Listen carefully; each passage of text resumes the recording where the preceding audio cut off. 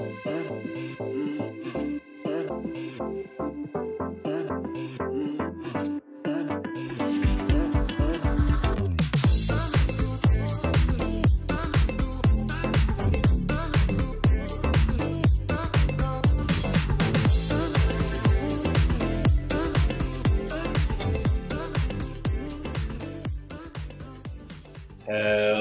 hello, and welcome to Finsweet Live. Wow, we are at another record again. This is now the second most waiting viewers we've ever had. So thank you for tuning in. That's really nice. Today we are with Jonas, and we're going to go over Wized Clonables and announce how you can get early access to the early access. Before we do that, I will make it clear that Jonas and I are in the same room right now. We are together in real life. That's super cool. We are in Florida, United States for State of Flow. And we get to do this episode together. So that's really cool. Okay. Before we say hello to the crowd, before we get in, into any of the content, let's just give some announcements here. First, Thursday, Community Day, we will not be live. Community Day this week is canceled. We are mentally preparing for State of Flow. We have some people from Finsweet coming, so no stream on Thursday. We will have a stream Friday. This is Friday morning, 9 Eastern. That's going to be a build day with Alex Iglesias and that is going to be how to use JavaScript frameworks inside Webflow. And we're going to be focusing on Svelte, which is Finsweet's recommended web app builder with code. So, great. Let's say hello to Jonas. Jonas, how you doing? Oh, I'm doing great. Uh, feels great to be here in Florida. Um, really happy to do this live stream today. And uh, yeah, can't wait to share more about Wized. Yeah, absolutely. You know, we announced this exactly one week ago, and we have had an overwhelming amount of responses and positive feedback, and people asking, How do I get access? What do I do? What's the process? I need it for this. I'm working on a project and need it tomorrow. I mean, the, the amount of messages that we got is amazing. And we we have some plans on how to approach that. So this episode is going to give you a little bit of a walkthrough in what V2 is. We're going to go through clonable examples. And I think before we do that, we're going to share our early access most passionate users form. So what this is, is a way for you to tell us how passionate you are about using Wized. And we've decided that we're going to choose the early access users based on who is the most passionate. So we're going to say hello to the crowd, then we're going to share this link and let's start saying hello to everybody. We have a lot of people here today. And also, we're at 100 viewers. So, Gabe, let's get that 100 viewer animation here. That's effing sweet. Nice. That's what I like to hear. Okay, let's bring up these comments. Who do we have live here?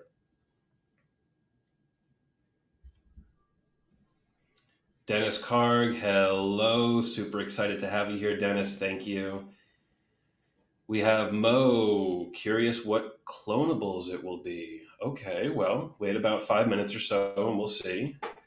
We have Yaroslav, hello. Welcome, welcome. We have Mark, let's go. Nice. Nicola, hello. Michael Rose, hello, hello. Who else we have? Robert, nice to see you. Mir T, so eager to watch this. Good. Penny, what's up? There are a lot of eager people waiting for this stream. You know, there are. Absolutely. That's why we're doing it. Roch, hello. Let's put a few more up and then we'll get down to business. Greg Dolan, hello, hello. Joseph, what's up? And we'll do one more here. Parker Thompson, hello. Okay, great.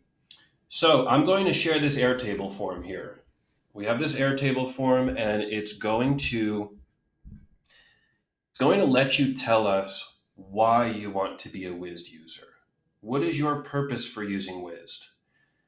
we are going to hand select the most passionate users, the most passionate people, and those people are going to get access earlier than the less passionate people. So tell us what's up, tell us why you want it, and the earlier access users we're really going to be working with one on one. You're going to get really special support, you're going to get really special everything to make sure that the first people using Wized have a really good experience. So go on, fill out that form. You can fill it out more than once. It's not just a one time entry. If you want to fill it out four times, you can do that. Uh, you can define what passionate is, and we'll we'll decide who gets picked for that. So, Jonas, are you ready? I am. Great. Okay, so now we are going to go into screen share mode. Jonas is going to be leading this presentation, and I'm going to be jumping in with questions as somebody who is not an active Wized user. And Jonas will be explaining what this is, why it works, and yeah, let's go to screen share here, Gabe. Nice. First app, weather app. Jonas, take it away. All right. So um, we have a lot of clonables lined up for you that we will release in the coming weeks. But today I want to take the opportunity to share with you two of them, just to uh, walk you through how to build an app with Wized, how a build app looks like, and how those clonables will look like when we release them. And uh, I picked two clonables today that we are going to talk about. And uh, the first one is a really simple weather application. What it allows you to do is simply to enter a city like London over here, and you get the weather currently in London. You can also input Tampa, where we are right now, and we will get the weather for Tampa. It's 32 degrees outside and uh, really warm actually today. All right, a second application that I will walk you through afterwards is regarding, um, yeah, user logins. And in this episode, we're going to cover Supabase. So we're going to learn how to build a login system with Supabase in Wized, and uh, this login system will be used for a job application dashboard. And now, Jonas, both of these will be available as free clonables once we launch publicly, correct? Yes, both of them and many more. So um, you can already check out on our website the Wized Showcase, wized.com. And then if you go into the menu, Wized Showcase, um, there you will already see, I think, nine of our clonables lined up. Um, it's not only a weather app, it's not only a job application dashboard, it will be much more. Like we, we asked back in back in uh, I think in February, we asked our existing Wized user base what kind of clonables they want to see. And basically, this now is a result of our submissions we got back then. So um, yeah, we, we collected your feedback, and we're gonna build more and more over time. So we are we have like those nine I think that are featured right now on the homepage. Um, we have another I think 12 starter kits lined up, or even more. I'm not 100% sure about the numbers um, which starter kits will cover basically common use cases with databases that we integrate and also that we don't integrate. So um, where REST API connections are needed, we will cover a lot of those use cases with our starter kits. And um, other than that, we're just going to continue building more and more clonables depending on what you want to see. So if you want to see specific clonables and you don't see them already on our website under our showcase, and they are probably not included in the starter kits, then feel free to write us and we will make sure to get them out for you. We're also going to be receiving some ideas in that Airtable form that we shared. So that the, the pin comment, the Airtable form, tell us your use case. If we see a whole bunch of people asking for the same use case, we may just make a clonable for this. Uh, just like Webflow, and it's relatively easy and lightweight to build something, the same applies for Wized. So it may just take us one or two days to fulfill a request that many people have. So go ahead and share your ideas, share your use cases in that Airtable link. Okay, Jonas, are we ready to get started here? I am. I think we are. So let's get started. Um, those clonables that I will share today are pre-built already. So we're not going to walk through the full build process, but I'm going to share with you how um, a pre-built app looks like and how requests and Wized look like, how you can explore the different panels. Uh, you will basically just see it in action and you will see a, a pre-built app and functionality in action inside of Wized in the configurator. So let me start with the weather application. Um, in this weather application, you can see I'm on the My Apps panel right now. And we have here our Airtable base and our Open Weather Map API. Open Weather Map API is the simple, free to use weather API that we're using to getting this information. And it's especially this endpoint over here. And then, um, yeah, we're using that endpoint later in a data in request, which I'm going to talk about in a second. Jonas, can I stop you here and ask you to zoom in once on your screen just to get a little bit more visibility? Like this? Yeah, I think that looks good. Thanks. All right. So uh, let me now jump into data in. So again, my apps was the general application connections. We have a connection for Airtable and we have this REST API where we put in the base URL of the REST API. And then we have our data in requests. And to fetch this data from our API, we will need two requests. The first request is for loading the weather from our Open Weather Map API. And here we are specifically targeting the endpoint data slash 2.5 slash weather. We are performing a GET request, and we have some URL parameters that are basically the configuration of the request for the endpoint. So what we are doing here, first of all, we have the queue parameter. This is, by the way, all explained in the API documentation of the Open Weather API. So we're not coming up with some new keys or values here. That's basically just um, the instructions that the Open uh, Weather Map API told us how we need to call this API. And it's all public source and available for free online. So they told us to use the Q parameter um, as a URL parameter. And in here, we want to pass the city name. And how we pass in a city name in Wized is fairly simple. First of all, we made sure that we have our Wized element in Webflow. So if you go to that form, you see that we have the Wized element city name. So Wized element city name. And that is basically our default form input element in Webflow. And then what we are doing in Wized is basically we go into our value selector over here. And in here, we open up general, we open up input fields, and Wized is automatically recognizing the available input fields with a Wized element here. And even the value is pre-filled out. So we know, okay, we want to use this input field as the value for our query. And let me quickly delete this. You can just simply click on that input field and will appear in your data vector. So that's how we put in the name of the city that we want to look for. Then a second parameter that this API is requiring us to add is the app ID. And this is also another parameter that we just need to add and it's static. So there's no vari variable over here. It's just a simple string that we need to add and that is um, yeah, required by this API. And then we want to return the metrics, um, the units in metric. Uh, we could also yeah, change this, but for now we are returning them in metric units. And that's basically already the full request on how we get the information from our server. And uh, when I go to response now over here, you can see a full list of all the data that we get back from this API. It looks really complicated on first glance, but if you look a second time, it gets much more simple. So first of all, this is basically just an identifier of this request, which means request two. As you can see, it has the ID of two over here. And then the D indicates that we are looking for request data, basically the return data. There's also a request status, which is available with this dollar sign over here. But we are looking for the data now. And uh, let me give you a quick overview about what we get back here.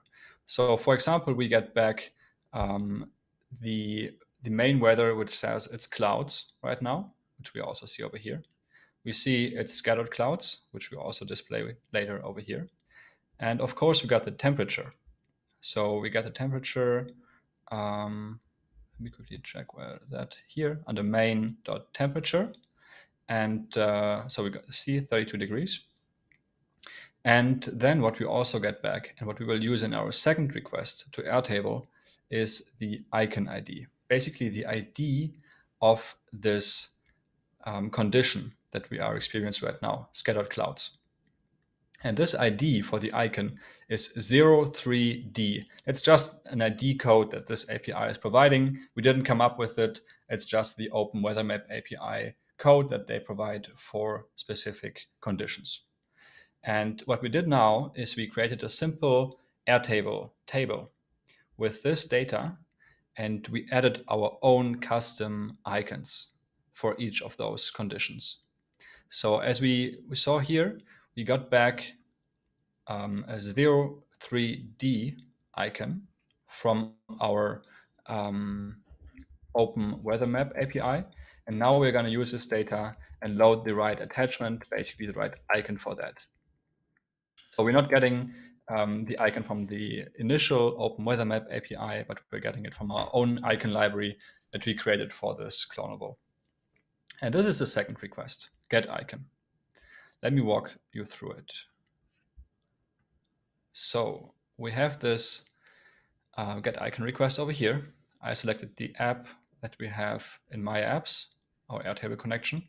Then we selected database as an API type we want to get an item list because we want to search for the specific icon. And we want to use our Wized weather widget base and our table one. And now in the filter, you can see basically how we search for this icon in our table.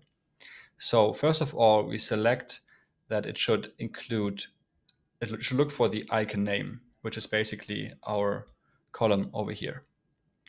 And then we want to only return the item that equals basically the code that we got back, which is weather icon.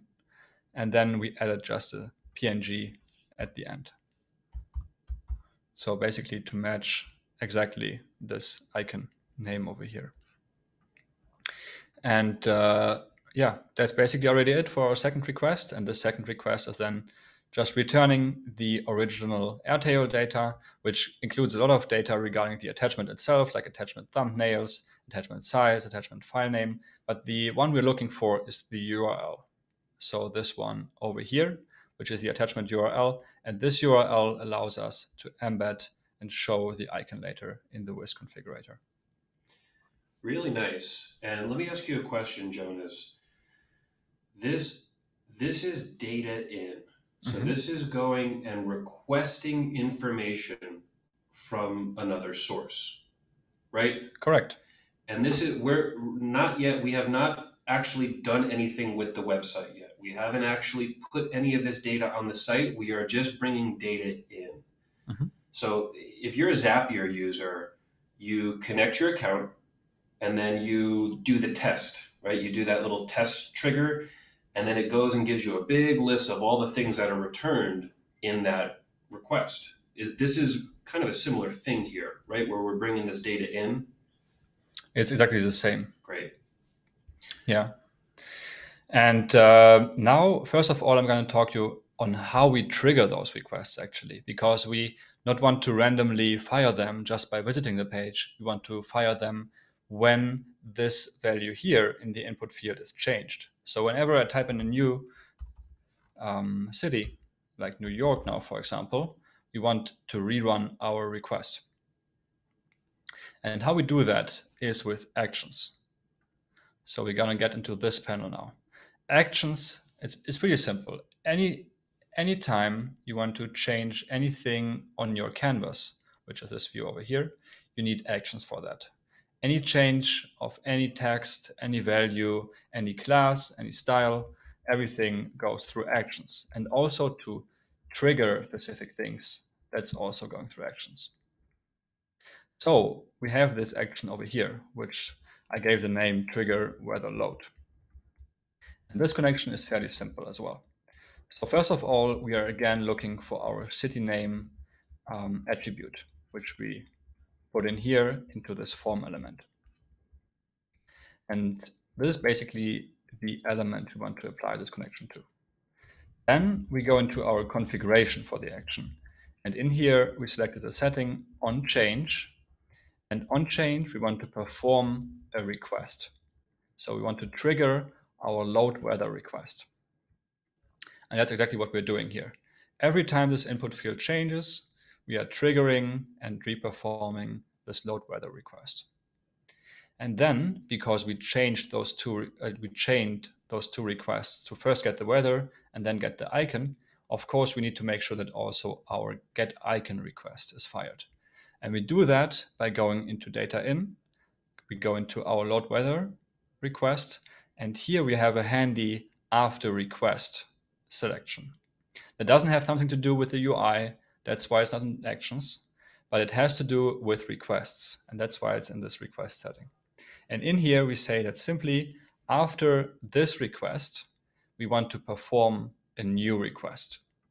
And in here, we select the conditions that we make sure that the status of our first request was successful. I'm not going to go into deep, um, very deep into that. That uh, will be explained all by the tutorials from Emmanuel, like regarding formulas and conditions. But uh, for now, it, you can just remember it as a condition that makes sure that the previous request was successful. And uh, if this condition is met, we want to execute the get icon request as well. So they both run after another, and once they are run, they display the data. How do they display the data? I'm going to talk about that now. So we go into actions again, and we discussed our trigger weather load already.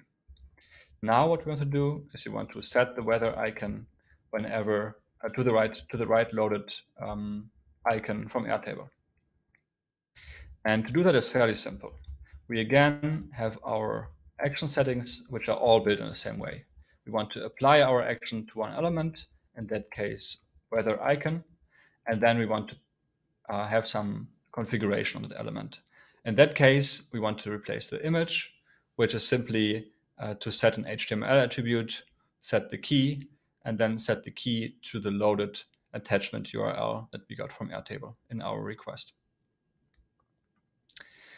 And this is similar for all the other connections that we made over here. So for the temperature as well, we have a set temperature action. We apply it to weather temperature, which again is simply an attribute we added to this temperature here, with element weather temperature. And uh, to this attribute then we apply the set text setting, plain text. And in here we have a quick formula uh, because we want to round that temperature. Um, if you remember, originally temperature was um, uh, data type float with a uh, 21.88, and we want to round it up. So that's 22 and a little bit simpler and cleaner. And we are simply using JavaScript in here. So math round. And uh, yeah, we can use JavaScript in those input fields. Um, yeah, and basically it's the same for all the other um, details that we added to this view over here on the right. So we have a set condition, which shows the condition. We have set details, which shows the details. Um, and uh, we have one additional setting, which is show and hide the weather, because we want to hide this part whenever the requests are performing. So we have an attribute called weather for that, which is the parent of all the other attributes. And uh, to this attribute, we applied the configuration set visibility. And uh, we basically only show it if both requests are not executing right now. So it's a simple um, AND formula that is um, yeah, working with the request states that we have in here. Emmanuel will also go into details about all of those formulas and uh, will tell you how to use them properly. You can basically use um, yeah plain JavaScript in here in those formulas, and that's also why, of course, a little bit of coding and a little bit of basic knowledge about JavaScript will get you much further here. Really nice. Okay, we have some questions. Let's take a little break and answer some of these questions that are related to this weather app or just Wized in general. Let's bring up the first one from Arcadius. Palki. This question is Can you explain for a non dev person what is the advantage of automating with Wized versus automating with an application like Make? Okay. So um, I would say Make and Wized both have pretty different use cases. You can think of Make as a backend, which enables you to run cron jobs like automatic synchronizations between multiple tools in the background. Uh, you can also use Make for REST requests. So you can use webhooks inside of Make that enables you to load data from a front end, for example, uh, from Make. And um, from Make, from another tool, like you could connect pretty much any SaaS tool to Make and then perform this webhook request, which returns data to your front end or to your endpoint. And Wized has a different use case. Wized is, is built as a front end framework for Webflow. So it enables you to basically apply data to your front end. Um, it's not a back end request execution um, program. It doesn't let you build like complex logic flows of requests. It's made to load data in and bring data out of your front end. Great. That's a great answer. And it leads right into some other questions about Vue. We've had a few questions about Vue. Let's bring one of them in. Let's bring it up from from Nicola. Will it be possible to integrate custom Vue components if features are still not available? So Jonas, Vue. what like why why would we use or not use Vue with Wized? So I'm a big Vue fan in general. Uh, Wized is built with Vue. This overview here is with Vue. It's a, a Vue application in the background powering the configurator. So I'm generally a big fan of it. Um, and I'm not sure how technical you are asking this question, but in case you are very technical, have worked with Vue in the past, and know how to integrate it into Webflow, then you can still continue doing that. There will be no limitations with Wized that prevent you from doing so. You can still use it for custom components. Wized has a JavaScript API where you can use data coming into Wized or coming out of Wized, uh, where you can trigger requests and just work with Wized as an extension. I imagine if you're familiar with Vue already, you can simply use our JavaScript API to work with the data parts that are controlled by Wized. Okay, so then let's bring up a comment that I made a little bit before, and let's see if this is not correct. Uh, so I said in the comments a little bit earlier, Semso Studios, no, this is not a use case of Wized, using Vue with Wized. And I said that Wized can replace the use of Vue in Webflow. Is that true? That's correct. So that, that's what it's built for initially. Um, but um, I think when you ask that question, you maybe really know your way around code and maybe want to do some complex front end heavy calculations, some maybe image editing, some video editing, or just some some really really complex logic. And you think that Vue is the best fit for that. And if you want to do that, then you can still import and add a Vue component to your elements in Webflow. Uh, it's just that for most cases, for maybe 95% of web applications, this isn't required.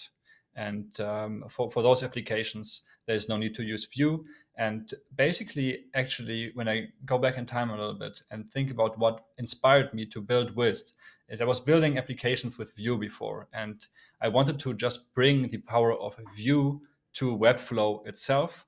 And basically, if you check our actions and no Vue, then you will see a lot of um, similarities in the way how you can apply different settings to template elements of Vue when we talk about Vue. So you can basically change classes, you can set, change the text input, you can trigger actions with on-click actions or on-input actions. And so it's it's basically the no-code way of um, building that application. And it's inspired by Vue, and that's why we also call it a front-end framework for Webflow. Nice. Love it. Okay, let's bring this up from Dennis Karg. Q- QOL question quality of life. If I rename the ID of an element, does Wized automatically pull the new name of that item or do I have to reselect it? So um, I can maybe show you that right here. So let's say you just delete that Wized element over here and you republish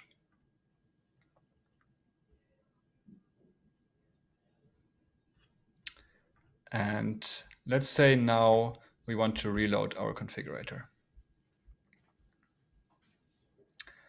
Then you will see that our trigger weather load has some error in here, error locating attributes. And that will indicate that this specific action has some issues with its attribute collect attribute connection and you can just reconnect it. So if you make a mistake, Wized is automatically checking for it and will let you know with kind of what kind of action broke and give you instructions on how to fix it. Great. So yes, if you used V1, Wized V1, this is completely different.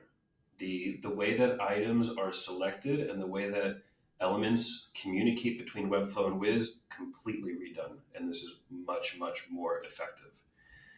Let's bring up one from from Spencer Kinsley. Knisley. Uh, and there were a few questions about this. In this use case, can city be populated automatically by IP address? So in this weather example, instead of typing the the location, mm-hmm. we just find out where that user is and display it right away. Yes, you can do that. Um, there's a simple way to do it. There are APIs that can give you back the location and the city name based on the request IP. And as um, REST requests here are performed inside of the Wized front end and not on our server, if you don't specifically ask Wized to do it, um, you can basically just pick out an API that returns you the location for your request. There would be, if I do a simple Google search, would probably find um, a couple of vendors for it, probably a couple of them as well free, um, where you just would build a REST API request to their endpoint that would automatically give back the address uh, or the the at least the city name of the user based on his IP, and then you could just um, perform this request here afterwards. So you would just have three requests for that use case. Um, the first one would be to get the location based on the IP by the REST API, and second one would be to load the weather based on the query, which would be the city name you got back from your first request, and then you would have the get icon request. Okay, so unfortunately, we are having some streaming issues. Uh, I don't know why this has happened. This is now the second time it's happened to us. The good news is that when it happened last time, the actual video was perfectly recorded. So if you play back this video, there should be no issue with the playback. What we're actually saying here is being recorded, it's just not streaming properly.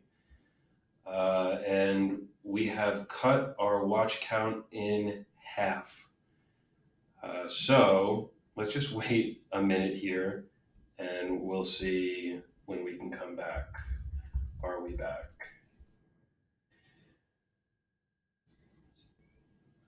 Okay.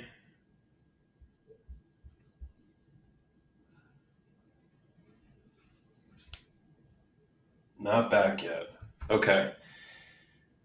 So, wow. All right. Okay.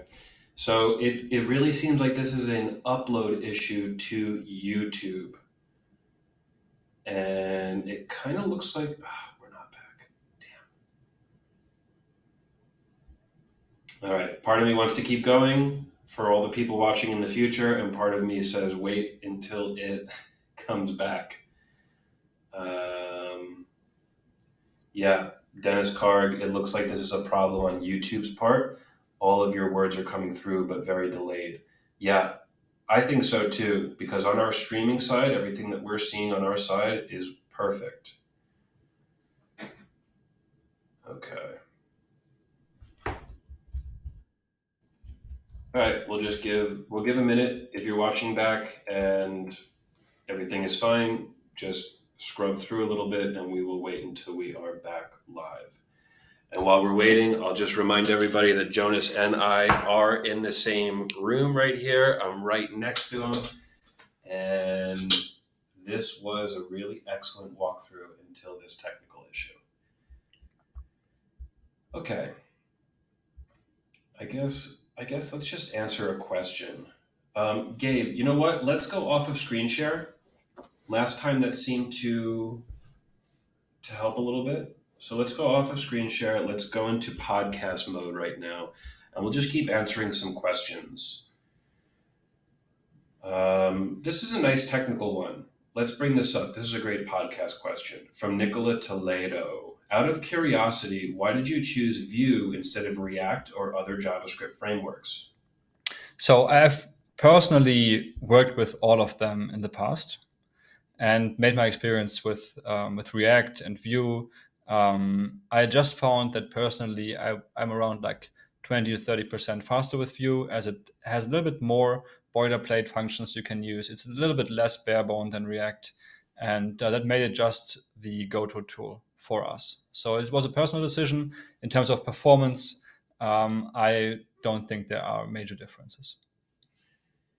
And I'm going to go off script a little bit and ask this question.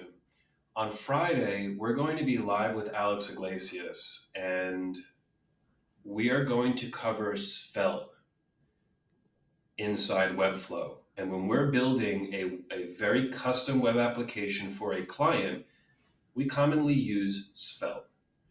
So, can you talk a little bit about the difference of why this is Vue based and why you developed based in Vue instead of Svelte? A little, little bit of a technical answer here. Um, yeah, so basically, Svelte is a pretty new framework as well. Um, so, uh, just to be honest, I didn't make the decision between uh, Vue and Svelte back in the time in, in 2020 when I started, 2019 when I started working on Wized. Uh, I, I, don't even know if Svelte was already released back then.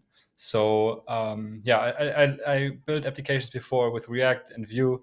Uh, I didn't look into Svelte back in the day, and uh, yeah, then we just stick with it. Yep, that's a good answer. Okay, and now it looks like we are back, fully back.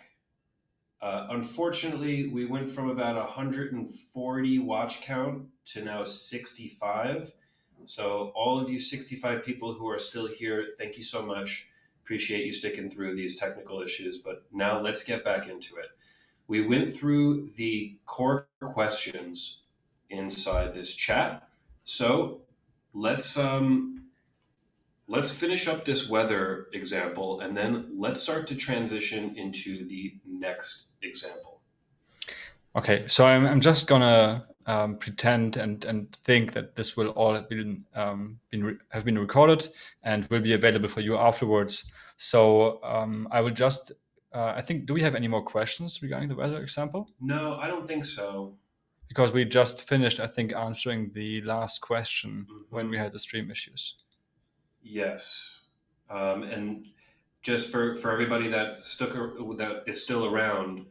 Uh, the question was can i can i automatically show the weather based on the ip address? And the answer is yes. Yes. the power to write javascript in here. So the answer is absolutely you can do anything with javascript. Yes. And um, yeah although you don't need javascript for that reason you can still do it in no code way uh, just use an api that returns you um, the the the address and your, loc- your location data based on the request itself.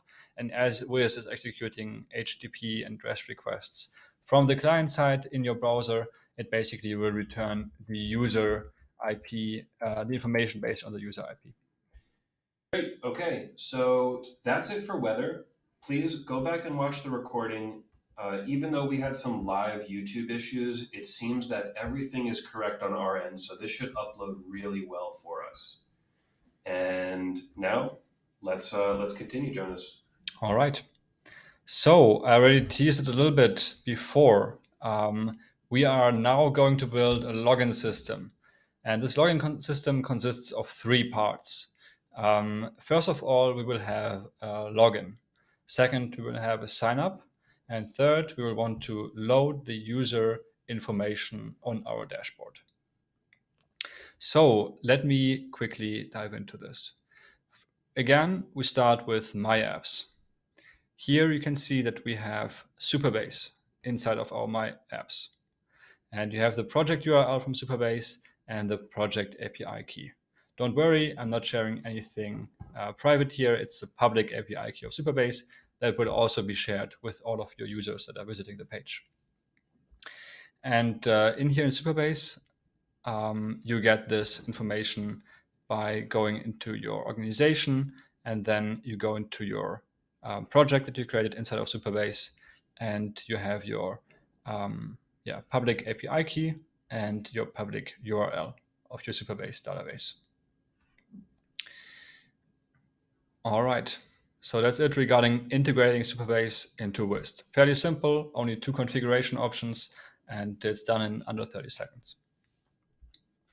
Then what we want to do is we have our three pages. So we have our login page, we have our um, sign up page over here, and we have our dashboard page.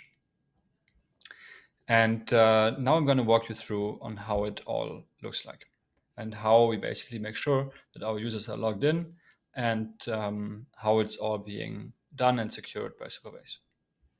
So first of all, the first thing we do with any project is we add the required attributes. So we go to sign up first.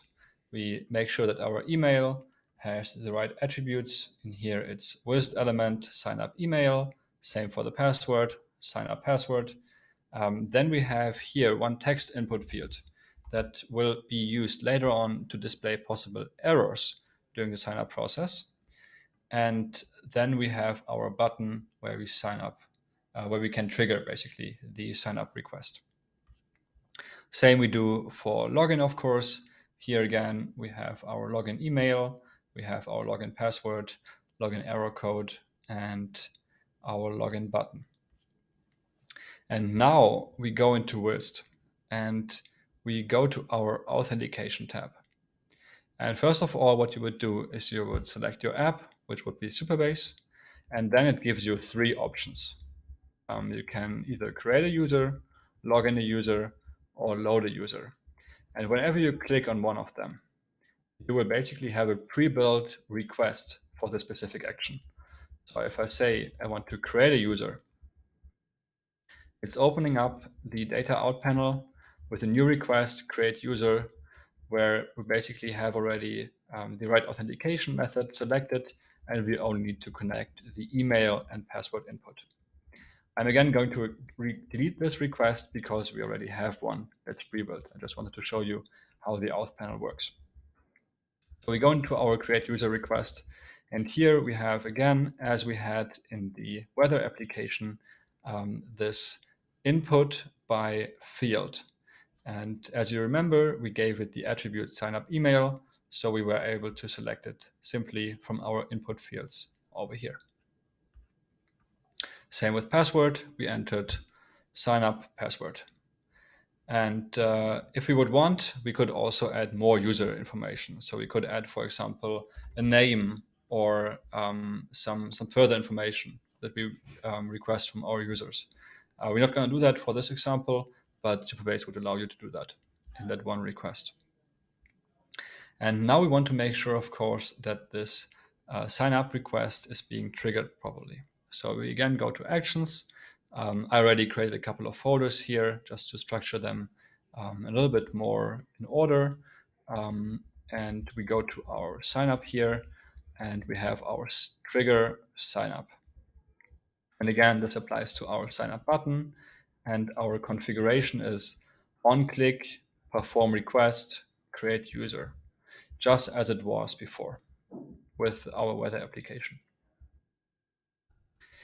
And I save this and I would just try try it out. So let me go to sign up over here and uh, let me check in Supabase and make sure that we don't have any users. So we have no users in our project right now and we are signing up a new user right now. So I will go into here and just put in my email address, set a new password, and now I click sign up. And that brought us to the login screen. Why did it brought us to the login screen? Because we defined it to redirect us.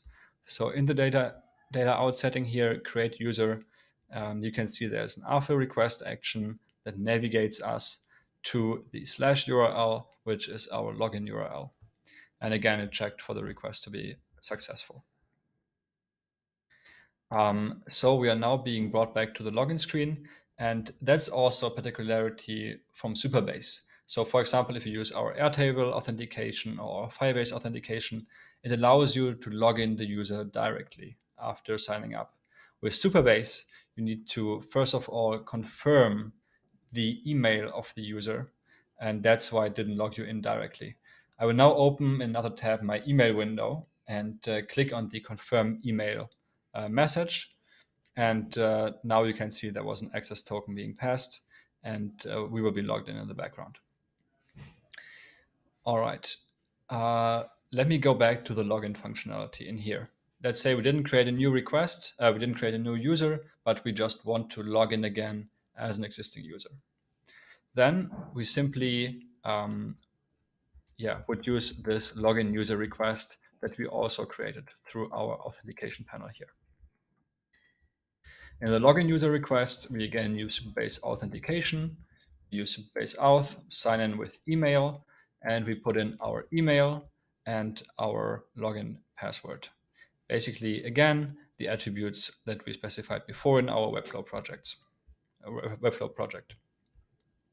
And then what we do over here is we make sure that after the request, we navigate to our dashboard, but of course also only if our login request is successful. So we can try out this request. And just for showing you what happens if I don't input the right data and we get an error, um, I will try this out. So let me just put in an email that doesn't exist and is not valid, and then some wrong password. Then we get the error message, invalid login credentials. And we get that because the response of our request in here of the um, login user request was message invalid login credentials.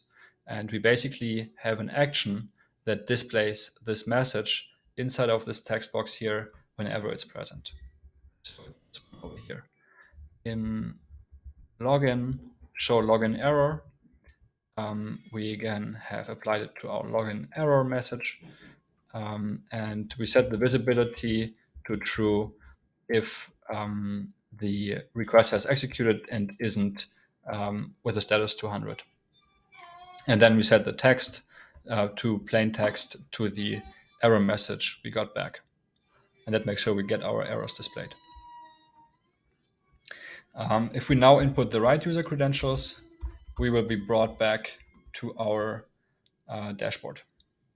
Boom, and we're there. Also note, um, maybe you have seen a slight content flash over here. That's just because we are in the configurator. They don't appear on your um, live site. So if you go to preview and would repeat that process, you wouldn't see the, content flash. It's just a, a thing that we need um, in our configurator to make everything work for you. Nice. All right. As we can all see, this is incredibly customizable. You can really set up any kind of flow, any type of rules to create the web app that you want. Let's jump into some questions about what is possible with Wized. There's some people asking about specific use cases, and I think it's valuable to go over them and say Wized can do this or isn't for this. Mm-hmm. And also, if you're watching live, it seems that the recorded video or the, the live video is about five to eight minutes before all of the live comments. Don't know why, but just stick with us. The record, the, the actual finished product will be all good. Let's bring up one from Mike Burns. Mike Burns asked, is it possible to build a streaming slash membership service like NBA League Pass, like a, a sports gaming area mm-hmm. where members can watch live games in the app and then update scores in real time. So they're watching the game and then in real time, those scores are updating in the app. So generally, that is possible. Um, you can embed live videos. That would basically just require you to embed some streaming um, software or application, like for example YouTube Live, um, where you could just embed a live stream. And then the, the second part would be the updating of the scores. And that might maybe require one or two lines of custom code just to get the Firebase trigger um, to fire when those scores update. But it's probably a, a, really often used use case, and we will have a, a simple guide for that uh, with the copyable code that you can use to establish this Firebase connection that is basically a, or a Firebase or Supabase connection. Those two are actually the ones that um, support those kinds of requests. So um, Xano, for example, or Airtable, those databases will not require, uh, will not support um, basically real-time changes and listeners. But Supabase and Airta- and Firebase are the integrations that support it. And you can basically create a listener uh, with two lines of code and then you just need to use the Wized um, JavaScript API to trigger the request um, with this listener. Uh, but it's it's probably um, yeah done in two minutes. It's a thing that we will offer a guide for in the future. And that brings up a nice question from Parker Thompson. Parker's asking, what led you to choose Supabase in this example as an integration instead of databases like Xano or Airtable? Any specific reasons? Uh, to be honest, no specific reasons. Um, this use case could, can be built with all of them. It can even be built with Airtable. Um, it's just about us bringing us different examples. We showed Airtable in the example before. We showed REST APIs in the example before as well. So this one was about Supabase. And it's also true that Airtable is usually not the best use case if you have a lot of records, if you need speed, if yeah, the, the, this Airtable is great to use for a lot of use cases, and it will work well in Wized. But if you're building a really complex application, you have a lot of things going on, and you need that speed. We're finding much better results with Supabase and Xano. Yes, the requests are just instant um, by Supabase. And in Firebase and Xano, you get request times of 500 to 150 milliseconds. With Airtable, as a comparison, it can be from 600 to 1000 milliseconds per request. Yeah, and that's a big difference. When we're that's that's the difference of content flashing and content not flashing. Yes, and you can try it out yourself as well um, with times all the requests that are executed. So when you go to our um, weather cloneable application over here, we can simply see how long this request took us to execute. So for example, if I type in a new city, let's put it up New York again.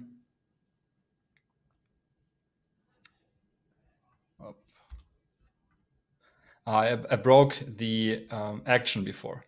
That's why it's not working right now. Um, I will just uh, put in this, trigger this uh, request manually over here. So let's just get the request here. Okay.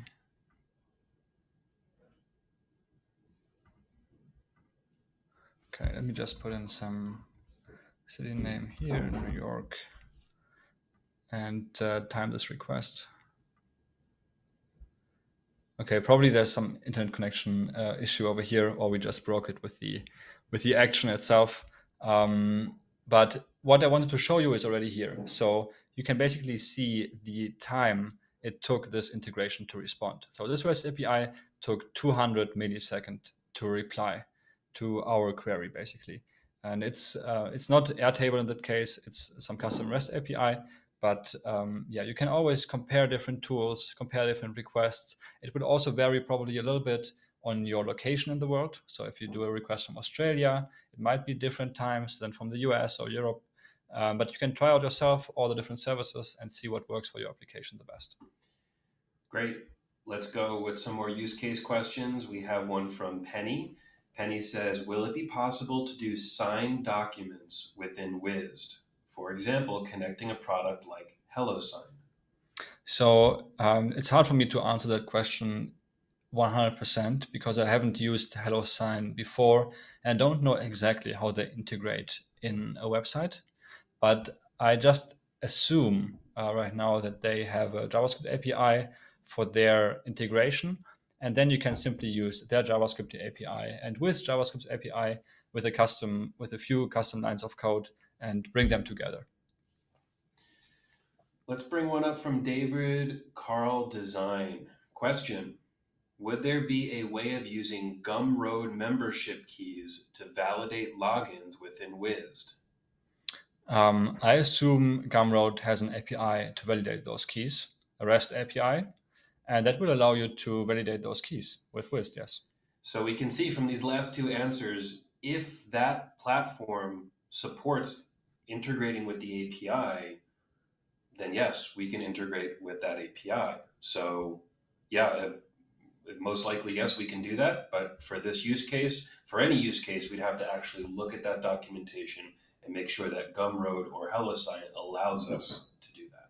Yes, and, and please tell us, um, uh, please continue to tell us about those use cases. Like whenever we, re- we receive information from you, we collect it, we process it internally, and we evaluate if we want to release resources for that specific use case. So whatever um, you want to build, share it with us. We collect it internally, and the more people ask, the sooner tutorials for it get released. Okay, uh, let's bring this up from KevCraft. KevCraft is asking, can the error message be more precise to highlight the exact field that has the error? So what I did over here in this um, uh, error message on the login was just displaying what Supabase returned to us. So it wasn't any custom error message, any custom logic that we implemented ourselves. It was just using the default Supabase um, return, basically uh, error return. And um, this, um, I think in this specific use case, this error message is vague by reason uh, because it increases the chances of an attack if they know exactly if the email address was correct or the password was incorrect. So it's it's vague by intention by Supabase. But in generally, I think those tools like Firebase and Supabase try to give you back the most detailed information about what was wrong in your request. And Xano does the same. So if you um, get back an error from Xano, Xano always tells you uh, which field was missing, which field was maybe invalid, and that also helps. And that leads really well into a Dennis Karg question. I just saw a specified dropdown with Supabase auth. Is this a predefined section of Wized, or is using Supabase or using Supabase is injected by the API? So um, is not injected by the API. Supabase is added to your site by our embed that you integrate with one line into your Webflow site. And um, the way you configure Supabase authentication is again in your auth tab, you select the app that you want to use for authentication in your in your project, and then it gives you predetermined uh, request types. And those request types that are put out by um, by this authentication uh, drop down here change based on the app that you want to use for authentication. So let's, for example, go into our um, project over here. And if we select Airtable, for example, over here, it will give us a different variety of requests to work with. And for Airtable, for example, we also need to set the user location in our bases. So um, yeah, it's different from every integration, but um, it will basically guide you through and you fill out and check out all the selections that Wized is presenting you on that side, on that panel, um, it will guide you through. And basically, will be pretty much foolproof. Let's bring this up from Attention Digital Marketing. So much possibility. So excited to get my hands on this and start pushing Webflow. Thank you for this comment. And if you missed the beginning of this stream, there is a pinned chat item on the chat that's an Airtable form this is how you can get early access to the early access. So if you really want to get into Wized V2, you want to start using it, you want to start building, go ahead and fill out that form. We're going to be hand selecting the most passionate users to start using the platform first. We're going to give them premier service. We're going to give everything that we can do to make sure the most passionate people are here to stay. So go ahead, fill out that form, tell us why you should be a user and you will get access before others. And also, thank you for sticking around. Uh, I know that we had some serious technical issues as we were filming this. if you go and watch the recorded playback, everything should be fine. And actually, uh, I'm going to talk to Gabe behind the scenes here. Gabe, do we let this play for another five minutes or do we just end the stream? Because from my understanding, the playback is just a little bit more delayed than the chat. I don't know. I'll leave it up to you. But we are at the top of the hour. And Jonas, I will ask you, how did this go? What do you what's on your mind right now as you're you're previewing Wized V2 to the community? Yeah, for me it's incredible to see Wized in action. Uh, we have worked it on it for for so many months, and uh, just to see everything coming together, those were pretty simple examples of what you can build with Wized. Um, there are much more complex uh, examples which involve list rendering, lists inside of list rendering, and all those complex features. Also, uh, some of them weren't available in, in the previous version of Wized. Um, and we, we crafted so much um, of our effort into making them available and basically bring all the features that were missing in the previous versions. And um, yeah, it's just incredible seeing it uh, coming together and uh, using it for for for real time cloneables and uh, projects, and just to see it really working and uh, being live. Amazing. So many people are excited about this. We are so excited to get it in your hands, but we're going to do it the right way. So no rushing. And don't forget, we are in the same room here. I'm here in the same frame. We're sitting right next to each other because we are in Florida, United States for State of Flow. If you are going to State of Flow, tell us in the comments. Uh, let us know. We're going to be there. We're going to be talking Wized. We're going to be talking Finsweet, attributes, client first. It all works together. So this has been a great stream. I really hope that everybody has filled out that form and is just super excited to get started because I know that we are excited. So at this time, we will end the stream and have a great rest of the day. We'll see you on Friday. Thursday stream is not happening. Friday, we're talking about integrating Svelte into Webflow. Have a great day. Talk to you soon and see you later.